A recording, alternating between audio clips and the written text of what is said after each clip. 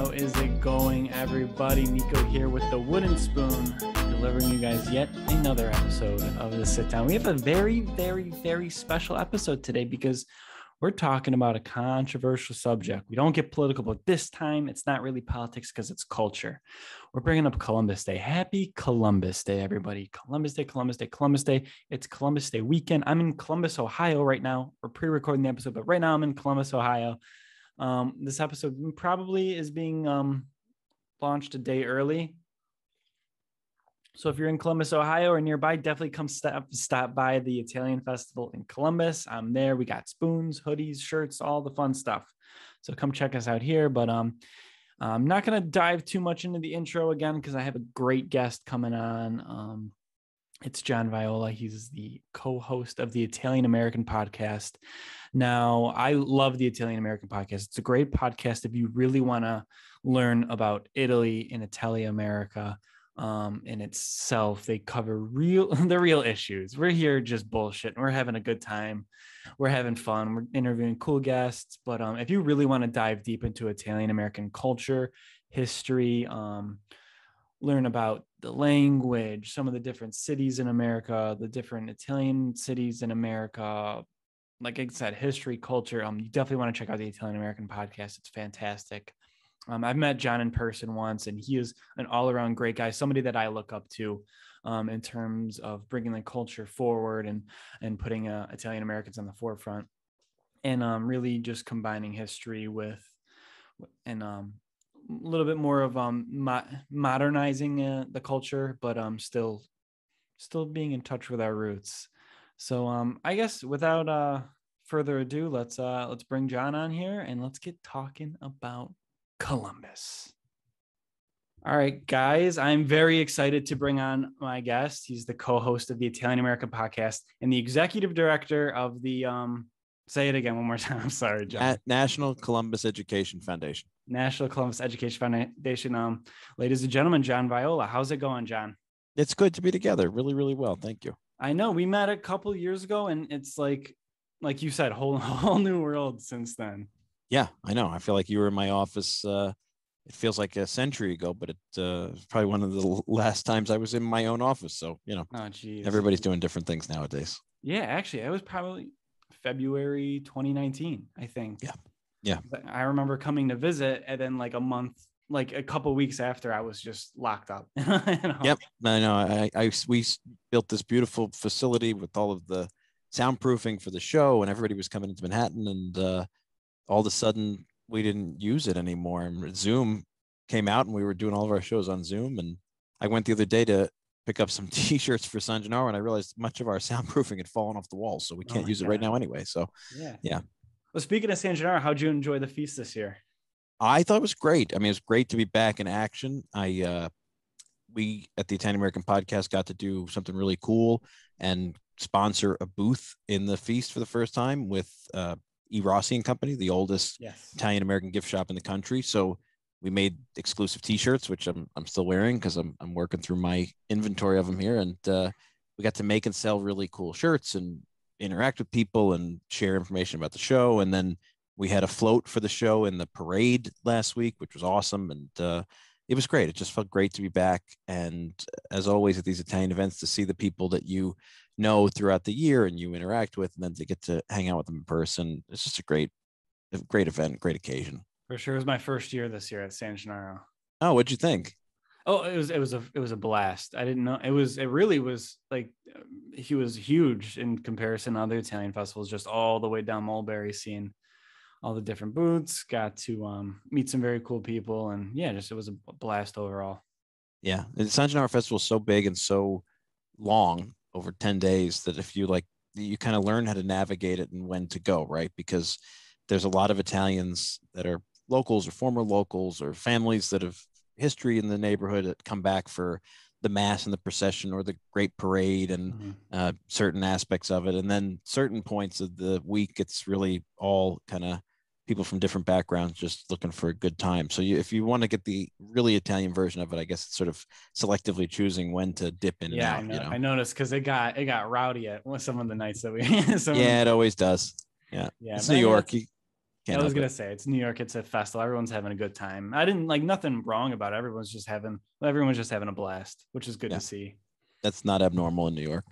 Yeah. So I guess since well, we're not recording on Columbus Day, but it's Columbus Day weekend. If people are listening, so you are the executive director of I'm past my mind again, but um, the, the National Columbus Columbus Education Foundation (NCEF). NCEF. Okay. How did you get involved with the NCEF? I guess to to start. Well, it's interesting. Um, you know, I spent six years as the president and chief operating officer of the National Italian American Foundation in mm. Washington. NIAF, another uh, NIAF or NIAF, another acronym for the resume. And um, one of the big initiatives that I always pushed while I was there was the idea that we needed more of the community's larger groups to work together more regularly, more frequently. And, uh, you know, historically, unfortunately, that's not been a strength of our community. So I, in my time there, built partnerships with a lot of smaller Italian American groups, but also the larger ones. And, and as I was on my way out, um, when I decided to step down from my position and come back to New York to get married, I spent a lot of time working with the Order Sons of Italy in America and the Italian Sons and Daughters of America, which is a significantly large group out of the Midwest and obviously up uh, in Buffalo by you, they got a big, yep. big presence.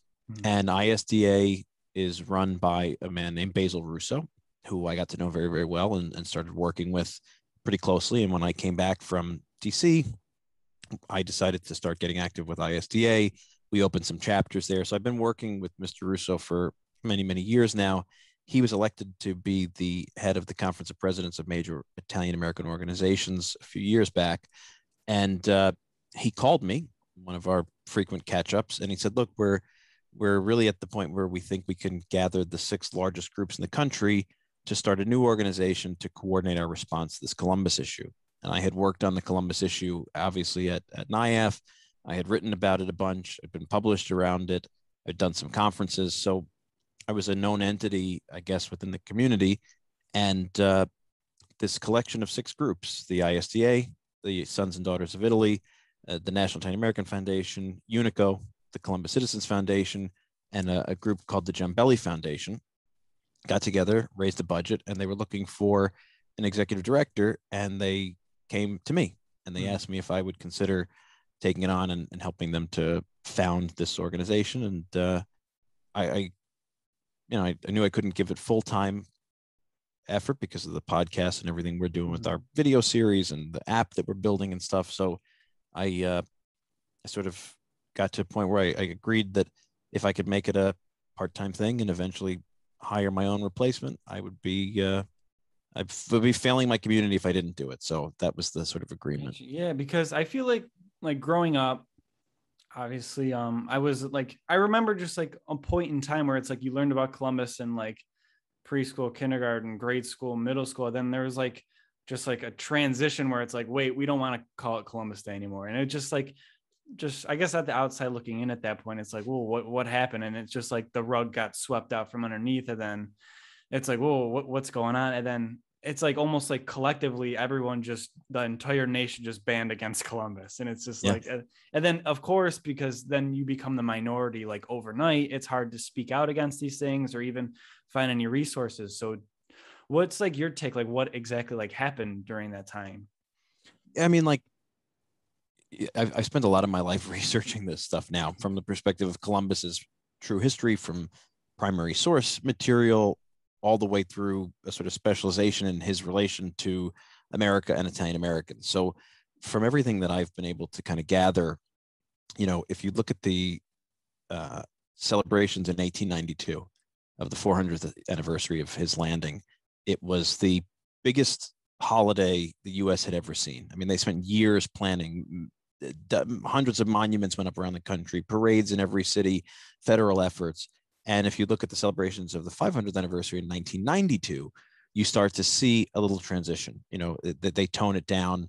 Um, the Bush administration is aware that there's a lot of hesitancy in indigenous communities, so the celebrations get toned down a little bit from a federal level, and you start to see some uh, Native American activists gather around this idea of reassessing Columbus from a perspective of indigenous peoples. And really, I think it's safe to say a lot of the new narrative around Columbus comes from uh, People's History of the United States by Howard Zinn. Howard Zinn was a left wing uh, academic who essentially set out, as he said, to, to create a disruptive bottom up history of the US as opposed to a top down history. And uh, Columbus was the opening chapter for him, and, and I guess his opening target. Um, it's been proven over time that a lot of Zinn's version of, of Columbus is based on misrepresentation of a very limited primary source material. And uh, unfortunately, it's also become one of the best-selling books in U.S. history, and and you know mm-hmm. used by academics and all levels. So it's eked its way into both academia, younger uh, education, primary education, and now popular conversation. So I think Howard Zinn is at the root of this change in Columbus. And like you said, when when you're on the minority side of a of a of a populist argument, it's very hard to fight back. Yeah, because I even remember like in because I I'm familiar with that book and they take primary resources that of course primary resources are from how many hundreds and hundreds of years ago. So it's hard one to even find resources. Two, then you have to translate those from different yep. languages and I'm sure not everything was very legible or sure. and so you take things that were he said like one thing because i i was doing i was doing research of my, of my own just a little bit and they said something about they'd make great servants. servants but it's very well because columbus was a practicing catholic that he could have meant servants of god he could have yeah. converted them into um christianity. And, and and you know again like when you look at the misappropriation of history right many scholars will translate i don't know the the spanish word that he was writing in but they will translate that to say slaves first of all which is not the case. Uh, secondly yeah servants could have multiple contextual meanings particularly in 1492 uh, in the european mentality. A servant could be uh, a servant to god right? A servant also is used throughout like there's there's references in other letters that columbus writes where he used the word servant to describe members of the court of the high chief of some of the Taino tribes. And so what he's saying is servants to the, the basically a monarch, right? A chieftain um, in the European model, a monarch. So uh, the idea of somebody being a servant, there's a there's a great case to be made that that really means subjects, you know, citizens. Before there was a term for citizens, it was subjects to it to a monarchy. Everything was a monarchy. So, yeah, there's semantics at play here. Um, that it's just very very easy to pick and choose quotations and bend them to a, an agenda on both sides.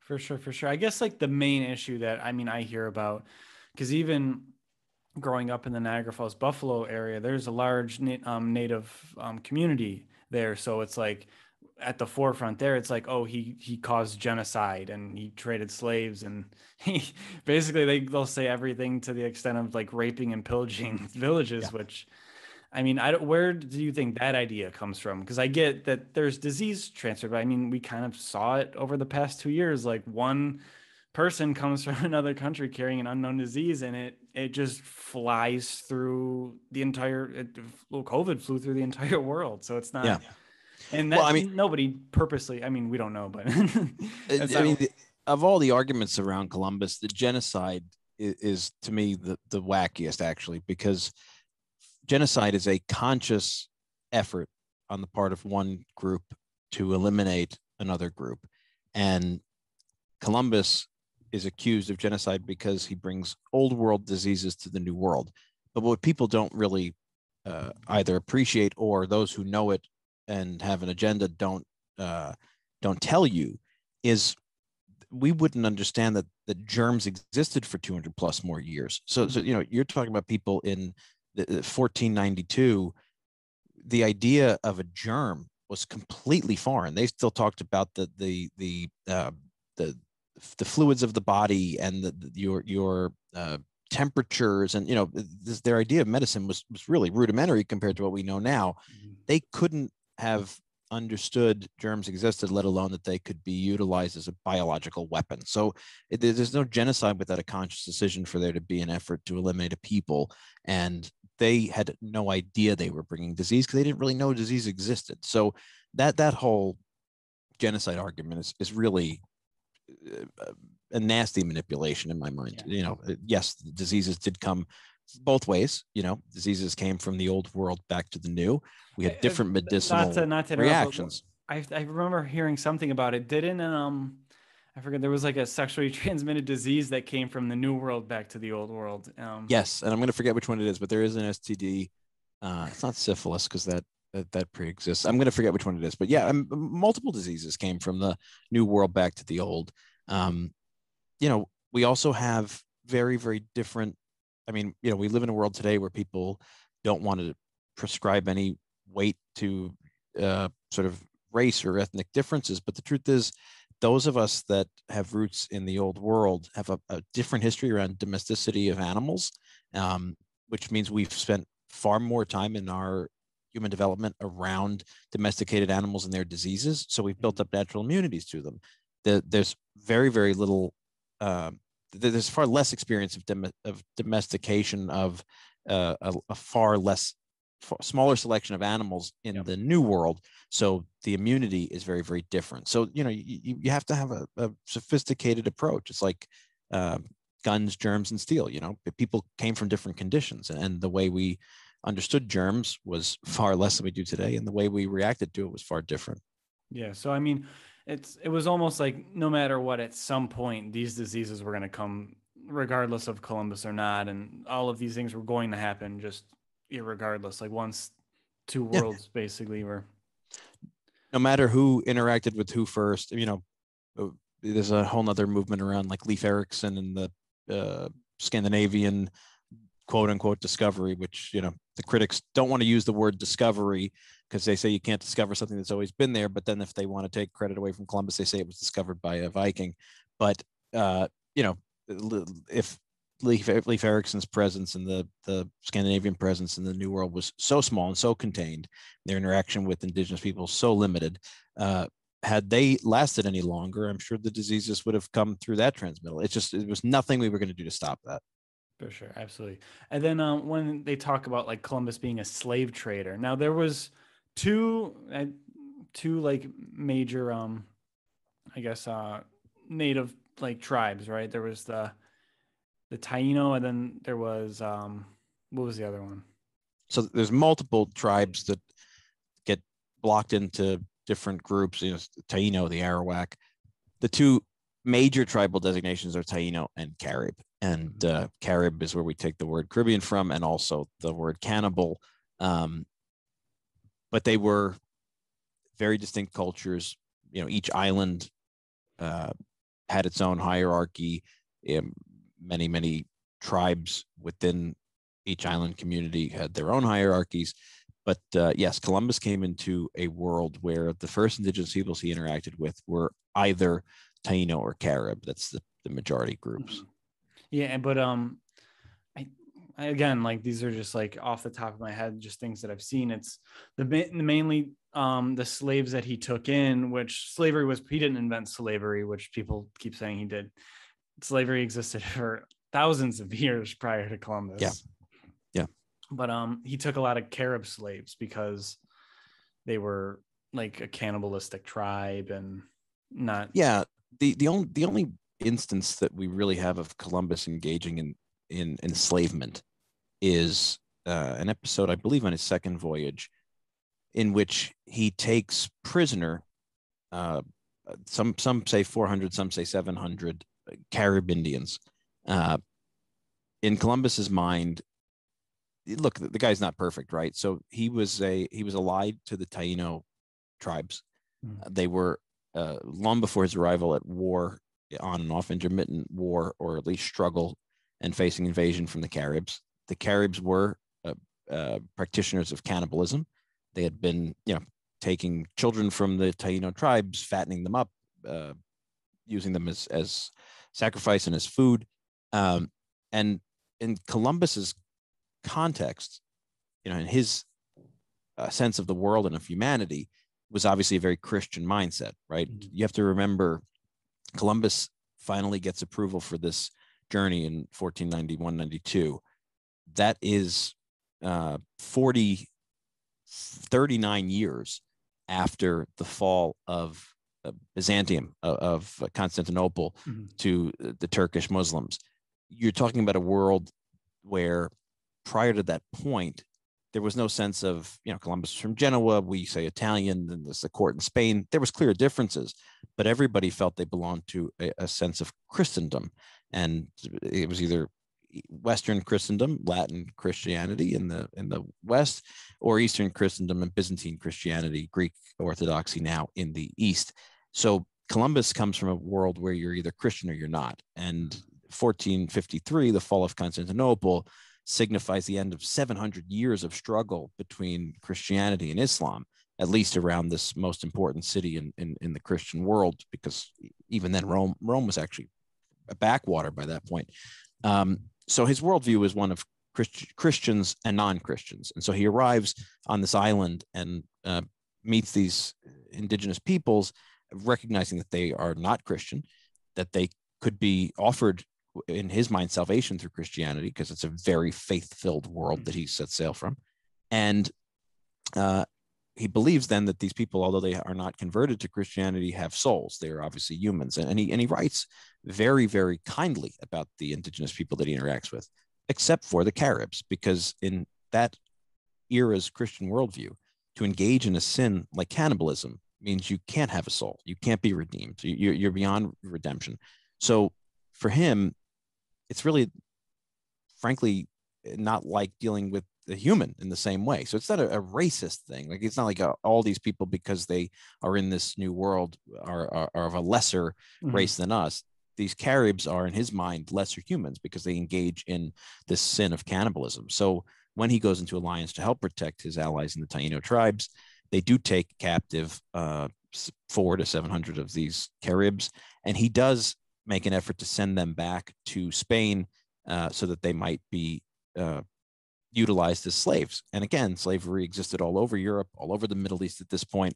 It was very common, increasingly less common in 1492 than it had been before, but still common that prisoners of war could be enslaved um, not necessarily in the sense that we believe today of you know the, the concept of American slavery of, of, chattel ownership, but slavery and indentured servitude or in, as, as a punishment for uh, crimes in war. Mm-hmm. And uh, he does send them back, and the Spanish court rejects the idea that they can be made into slaves and send and, and, and freeze them and, and send some of them back to the New World, and others remain there. And unfortunately, yes, some of them do die in transit, and it's uh, it's there's nothing pretty about this episode in his life and it's a moment of of weakness and sin on his part but it's not this idea like okay i i have this great concept called slavery and uh, it, it, it directly leads to the original sin of the united states which is the chattel enslavement of uh, african peoples because mm-hmm. the two are completely unrelated. Yeah absolutely absolutely. So i guess well, I mean, well, obviously, you fast forward how many 400 years when Columbus Day was declared a holiday. Why did um why did do you think the U.S. government chose Columbus as like the forefront of like he should be the namesake of the holiday because it was in um I guess like reparations for the lynching of the Italians in New Orleans, right? Well, that that's a point that I always sort of diverge from our Paisani on because it's become and and and I and I've I've been active in this movement for you know, 10 plus years now. Um, it's sort of become our own popular reinterpretation of history to say Columbus Day became a holiday in response to this the mass lynching in New Orleans. Uh, so let's give a little context first and just cut me off if I'm babbling, but yeah. 1892, the 400th anniversary celebrations had been planned for a long time. Uh, Columbus Day was celebrated in 1792 before there were any significant Italians here. Columbus is a figure that has been many things to many people, both good and ill, throughout American history. Mm-hmm. Because in 1776 or 1783, when we finally throw off the shackles of British imperialism, uh, we have to build this new nation unlike anything else that's ever existed and that's a nation of multiple peoples you know there's there's obviously a, a British WASP majority, but there's already Germans here. There's already Swedes in New Jersey. There's Dutch in New York. There's mm-hmm. indigenous peoples, right? We're building this multi-ethnic nation, which is really the first in of its kind. And we're building a nation based more on the idea of citizenship and, and rights and documents than on any sort of ethnic ties or national history. So we have to create national history and create uh, mythologies and, and, and systems and things like that. But because we just freed ourselves from Britain, which was the predominant source of history for these people and their identity, they were, you know, so many loyalists, they thought of themselves as British up until shortly before the revolution. Uh, they need a figure that is free from the taint of Britishism. And here's Columbus. He's, you know, he's anything but. He's a an Italian Catholic who uh, sailed for Catholic Spain. You know, he's a totally free from anything British. So he becomes this proto founding father because it's a great symbol to gather around. Uh, obviously, you know, when uh, you're living here in New York now, if you go up to our Ivy League university here in the city. It's called Columbia University. Well, before that, it was King's College. And when you need to get rid of the royal symbol, who do you go to? We, we get go to Columbus. Mm-hmm. Um, it, when America was portrayed in you know popular media back then, before the creation of Uncle Sam up in Troy, New York, they used the figure Columbia. She was the female personification of the U.S. She, she is the statue that stands atop the Senate dome. Uh, obviously the District of Columbia, the capital. You know, there was a movement to name the nation Columbia instead of the United States. So she's he has always been a symbol that that the U.S. could rally around that was was not British. Over the years, uh, obviously our our community sort of grows in number, and as this uh, celebration for the 400th anniversary is being planned in 1892, we are coming here in significant numbers is the peak of our immigration and we are not a particularly well loved group we're mm-hmm. ethnically different religiously different you know we don't fit any category uh, and in april of 1891 uh, 11 sicilians are accused of murdering the police chief chief hennessy in new orleans louisiana louisiana had a significant sicilian population even before italian immig- uh, unification so it's one of the oldest communities in the country mm-hmm. and uh, these 11 Sicilians are exonerated. They, they're, they're, they're freed. The charges are dropped against them. They're, they're, they're found innocent. And uh, it so infuriates the populace of New Orleans that they break into the jail, round these men up, and lynch them uh, and murder them uh, in, in what is the largest mass lynching in the history of the United States. And now that's there are there are some accounts that there's a, larger number of Chinese Americans who were also lynched. But the, the, the term largest mass lynching comes from the idea that in the history of this horrible crime of, of lynch mobs, normally it was, you know, uh, dozens of people, maybe a little bit more. Here was thousands of people in broad daylight in the middle of yeah. this, uh, one of the largest cities in the country, uh, executing summarily 11 people who were just found innocent. So, in reaction to that, you get a huge amount of tension between this young kingdom of Italy and the United States. Italy recalls its ambassador. There's talk of war. The U.S. offers uh, economic uh, uh, repayment uh, to Italy, and Italy says, you know, this is not about money. This is about the rights of our citizens living in your country. Never before, at that point, Italy and the United States had never been so close to a break in diplomatic relations and, and potentially even war. And there are some who say that President Harrison was inspired by this idea of re-engaging this growing Italian community in the United States by sort of Italianizing some aspect of Columbus Day. But at the same time, um, we, we also suffered through the tragedy at Wounded Knee and the massacre of, of indigenous peoples.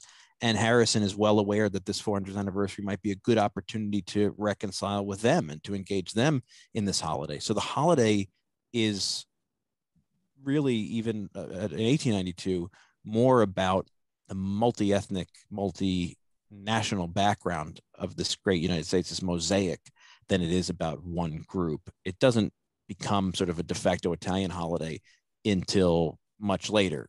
That's not to say that Italians are not inspired by Columbus. Like, you know, the Columbus statue in, in Columbus Circle, New York. Uh, we've always argued you can't take that down because it was built with nickels and dimes and 50 cents and dollars fundraised by thousands of Italians around the New York, New Jersey, tri state area. The statue was already being planned to celebrate the 400th. It became a testimony to and, and, a, and a, a beloved icon of the Italian American community in the wake of this tragedy when it inspi- when they were inspired to do more to show that they were good and functioning Americans, and Columbus was a great symbol for that. Mm-hmm. Oh, okay. That definitely, that definitely, I think just that story alone could clear up a lot of um, clear up a lot of loose ends because it's one thing to just start yelling all these things that you hear from like obviously that's i guess modern day politics is just reading headlines and shouting them out but when you really dive in and even just listen to our what 20 30 minute conversation it really it's really um i think opens up a lot of eyeballs. Now um the know columbus k-n-o-w columbus.org there's tons of resources there and those are all like who who curated all those and what sources or, or um some of those um documents from we've worked with a lot of different groups so our inspiration behind know columbus k-n-o-w which uh, I, I, it's safe to say publicly now we also own no columbus which should redirect to that site because we wanted to cut off our mm-hmm. position at the at the feet um, it, it, because it's an alliance of six groups six italian american groups we also wanted to really make the point that this is a, a national issue it's not just an italian american issue why and, do you think italians just like kind of like what, what at one point where it feels like the only people defending columbus now are italian americans yeah. Yeah. And I think that's because, yeah, I think in some ways our ties to the holiday really did hurt. Like, you know, Columbus Day, Columbus and Columbus Day have been used and abused by multiple sources, right? When we needed somebody who wasn't British, we had Columbus. When the Know Nothing Party, the Nativist Party, was totally scandalized by the growth in uh, non Protestant immigration, primarily Catholic and Jewish, Columbus became a symbol to tear down again. Uh, in the 30s, when there was issues with Italy and fascist Italy and this and that, uh, Columbus became a symbol for the fascists. That's when Italy started celebrating. At the same time, the white Anglo-Saxon Protestant majority, particularly Scandinavians, that's when they started to go uh, go anti-Columbus with the Leif Erikson uh, research. So it's it's always been sort of used and abused, unfortunately, and never really examined objectively. Um, but I think as Italian Americans started to cling to the holiday itself, and and and you know, you got the Italian internment during World War II, and then the reaction of the government to sort of make up for that and to focus on Columbus Day. And then in the 60s, you have this growing idea of ethnic identity politics and, and these, these uh, power movements and Black power and Puerto Rican power and Italian power. And Columbus Day sort of by default becomes ours. And it's really, even in the 60s, you still had huge parts of the celebrations around the country that were Hispanic Americans and Indigenous Americans participating and, and other groups. And that starts to die away in the 70s and 80s. And so I think as our community was sort of told, hey, this is your holiday, enjoy it, the holiday became about much more than Columbus. The, the day itself, 1492, uh, October 12, 1492, becomes forgotten. The holiday was really founded to talk about th- this date, not this man mm-hmm. but his Italianness becomes the only thing we're really celebrating and, and other stuff added on. So you could talk as much about Columbus as you do about Mother Cabrini or Joe DiMaggio on that day. I think it really alienates other people who, up until that point, might have seen themselves in and their own social experience as an ethnic group in America in the Columbus story, in the Columbian Exchange, and in the bridging of these two worlds. And I think now, uh, as Italian Americans have assimilated, we are for the last 40 years plus the ones who are sort of celebrating on this day but we're celebrating our ethnicity less in general through the assimilation process so it's become less important and uh, even many proud italian americans would argue we'll just call it italian american heritage day but unfortunately that's not what any of the federal documents are about and this doesn't say in the federal uh, legislation creating Columbus Day as a federal holiday to celebrate Italian Americans. It's just to celebrate his accomplishment and the bridging of two worlds. So we kind of have a holiday and we don't. And in kind of having a holiday, we've alienated other groups who might actually care about Columbus and should actually care about Columbus. I was, yeah, absolutely. Because at the at the very end of the day, the fact of the matter is, is he's the one who's who bridged the two worlds. When there was like, it was like the last point. It was like he bridged the two worlds, and then people started to come over, and that's like kind of what sparked it. If, and correct me if I'm wrong. No, I mean Neil, Neil deGrasse Tyson says there's I don't remember the exact nature of the quote. He said something to the effect of, you know, there's no there's no more important moment in human history, you know, and uh, I mean, uh, you could argue the birth of Christ. I think, in, in my mind, probably yeah. more important as a practicing Catholic, but uh, certainly from a sort of secular perspective, I don't. There is a, a, a more important secular moment because, uh, you know, think about if you went to a government today and said, "Hey, I want some money. I have this great idea that tells me if I shoot a rocket past the moon, I'm going to land on uh, you know Mars, whatever." Uh, but I'm not really sure, but I, really believe. And you don't land on Mars; you land on an undiscovered planet that we haven't seen yet, and on that planet is people. Or, or, or you know some sentient species. That's basically what columbus did. It was that far-fetched you know? So how the hell would you react you know? Oh, are you going to be there like you know checking yourself against sainthood? No you're going to you're going to react. It's it's a totally unprecedented experience in the history of humanity. That's, that's and a great great way to put it. yeah. absolutely great way to put it unprecedented but i mean i guess on that note i think that should tie up a lot of loose ends for people and um, i guess just americans in general to celebrate columbus day because like you said it's not I guess Italian American Heritage Month is all of October, and Columbus Day is a very big part of that. But like it's at the end of the day it's the merging of the new world and the old world and i guess just the very beginning of american history yeah it's it, you know it's our responsibility as a community I, I feel to not only seek truth in this thing and, and admit where columbus is flawed because he's very flawed he's a terrible administrator he's a total mess in terms of how he runs things that's true uh, a lot of stuff is allowed to go on under his leadership as a colonial administrator when he's not there. Um, but we have to accept that all humans are flawed and that this day, while it's great to have a day to pound our chest and wave the red, white, and green, it's really about more. And so we're blessed and cursed by that responsibility. And to me, I'm on the record, you know, we did a seven part series on this thing on, on the Columbus issue on our podcast, the Italian American podcast called Conversations with Columbus. And uh, I've did 30 some odd interviews about this every expert that I could find, pro or con. Some wouldn't speak to me. Um, and I spoke to Bill Connell from Seton Hall University, and he laughed at me when we started the interview because he said, You know, John, I quoted you in the Routledge History of the Italian American Experience at a conference that I did at NIAF, where I said my opinion was if a city was uncomfortable celebrating Columbus Day, instead of replacing it, instead of replacing it with Indigenous Peoples Day, let's just call it Italian American Heritage Day and have another day where we celebrate Indigenous peoples. And in fact, we have four or five on the calendar right now in various hmm. uh, parts of the country.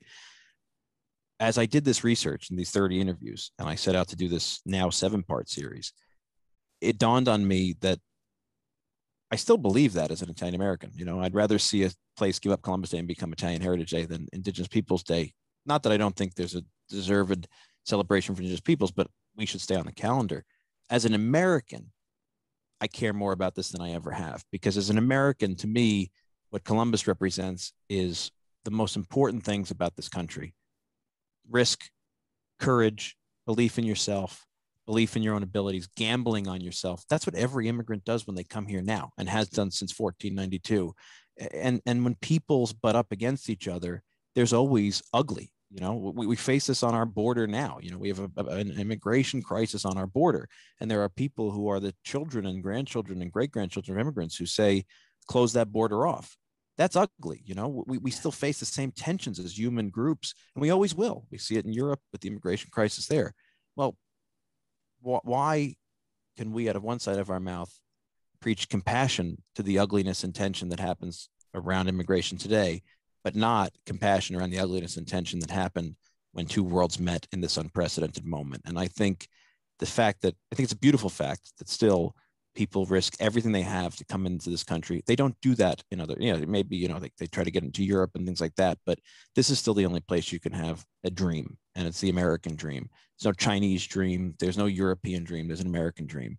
And that is all the byproduct of Columbus. That's why it's an important holiday. Very, very, very well said. I, I couldn't agree with you more. And that's like I just very well said. That's going to be a great sound clip on Instagram. oh, good. That's great. That's like I have more people yeah, tell me but, what an um, asshole I am for supporting Columbus. It's wonderful. No, like I mean, I'm on the same boat as you, and this is me doing my part because I think there's a lot of people on. There's a lot of Italians out there, a lot of Italian pages that they don't even say Happy Columbus Day when Columbus Day comes around because it's too controversial for them. Yeah, but I'm willing to say Happy Columbus Day. yeah, you know, that that's why we did the series. It's like if you don't like that we're celebrating, you know, we get people like, how could you do this? So go go listen to the seven hours of audio I, I, where I actually, hopefully, tried to take the audience through my exploration of why I should or shouldn't do it. You know, that's the best we can do. And if you don't have the patience to engage and seek truth, you may not like what I conclude at the end of it, but at least go through the process. Don't just take, you know, oh, my third grade history teacher told me Columbus was a bully. If yeah. you do that, you're an idiot, you know? So do your research. And if you're an idiot and you don't do your research, I really don't care what you think. exactly, exactly. So I guess um at the end, like where could everybody find uh, your socials? Of course, there's at the um it's at Italian American for the Italian American Podcast Instagram page. The Italian American Podcast is on all platforms, I'm sure. Yeah, we're on everything. You can visit us on ItalianAmericanPodcast.com.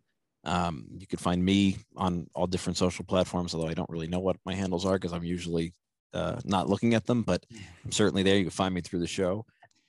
You can find the NCEF at knowcolumbus.org. That's K N O W or N O. And uh, yeah, I mean, we're, we're out there floating around, and hopefully, the audience that doesn't like we have to say will at least take the time to listen to seven more hours about how I came to these conclusions. Well, I'm in, I'm excited to to listen to them. I gotta I'm sure I'll listen to it on the car on the way to Columbus, Ohio, because we're gonna be we're gonna be in Columbus, Ohio for um, Columbus Day weekend at their Italian festival. That's really cool. That's yeah, exciting. It's a it's a fun little thing. We'll go there, sell spoons, sell shirts. It's a Columbus is a great Italian festival. It's run by I've never been. St. John the Baptist. I think it's for, it's um out of their church, and it's a really really great community. There's great people there. Oh, I'd love to. We, we've been traveling for our YouTube series, and building lists of uh, where we're going to go. So I'm going to add. We were just in Cleveland, but we didn't film there. We did meetings there. But uh, Ohio's great. Got a great Italian community, Absolutely. and really always a pleasure to be in. I'm expecting my first daughter. My oh, congratulations! Yeah, thank you. So it might be on Columbus Day. So I'm going to be. Uh, I get a year off this year, so I won't be in the parade. I won't be. I'll be on baby watch. But oh, I told my wife if she comes out on October 12th, we have to name her Columbiana. So we'll see.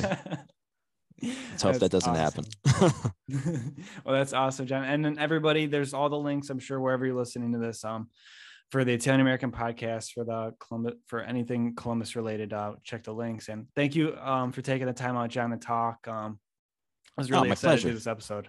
Uh, my pleasure. I'm always happy to be together, and hopefully, now that you're in New York, we'll do it in person sometime.